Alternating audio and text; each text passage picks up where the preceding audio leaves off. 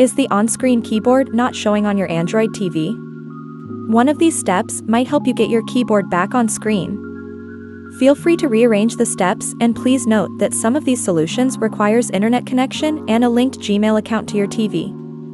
If you don't know yet how to connect Android TV to Wi-Fi or to link your Google account to your TV, I have YouTube videos that could help you. Just click the link somewhere on the screen or in the video description.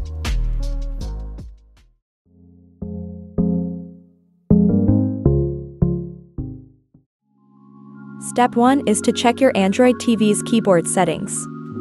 Make sure that your current keyboard is set to Gboard.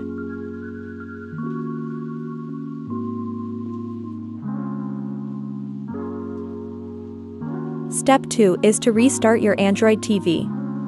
Turn your TV off, wait a few seconds, and then turn it back on. Sometimes, restarting the TV can resolve temporary glitches.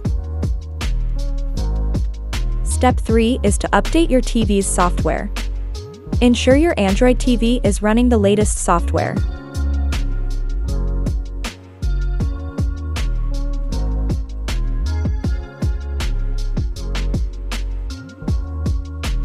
Step 4 is to update your Gboard app. Try to uninstall and install it again, if possible. Or just uninstall and reinstall the update.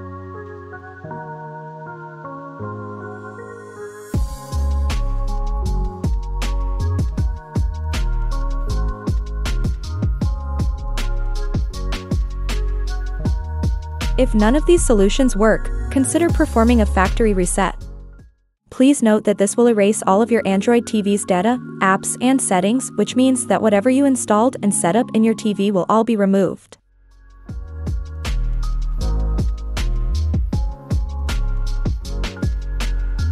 If ever you have connected a Bluetooth keyboard or any external keyboard to your Android TV and are not sure which one is being acknowledged by your TV, this will be very helpful.